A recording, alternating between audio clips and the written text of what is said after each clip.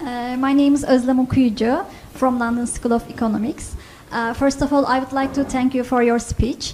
Um, I'd like to ask a question about the crisis in Syria. Uh, I'm from Turkey, and as everybody knows, uh, Turkey is hosting uh, nearly 2,500,000 Syrian refugees. And some Turkish people are criticizing Saudi Arabia on the grounds that Saudi Arabia isn't accepting refugees and it isn't doing enough for refugees as a rich country. And as you said, uh, there is a responsibility. You said that Saudi Arabia has a responsibility uh, in terms of it's the center uh, for Islam. So some Turkish people are also saying this. Uh, it's an Islamic country, so why uh, isn't it doing enough for uh, Syrian refugees?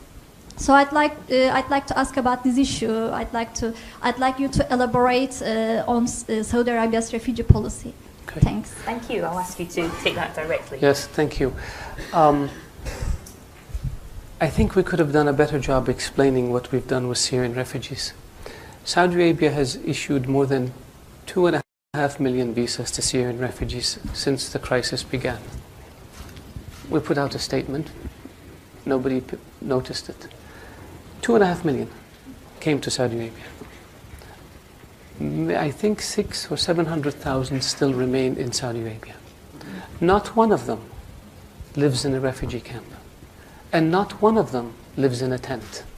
Because the custodian of the two holy mosques ordered that all Syrians who come to Saudi Arabia be provided residency permits so they can send their kids to school, so they can have access to medical care, and they can have access to social security, and they can get a job. We don't have one Syrian. Of all the Syrians who came to Saudi Arabia, 2.4 million, not one of them lives in a tent. And the same thing we did with Yemenis. Since the war in Yemen began, almost a million Yemenis came to Saudi Arabia as refugees. And the same policy was applied to Yemenis. Not one of them lives in a refugee camp, and not one of them lives in a tent. And we don't brag about it, and we don't put TV cameras in front of them, because that, to us, is what our culture is all about.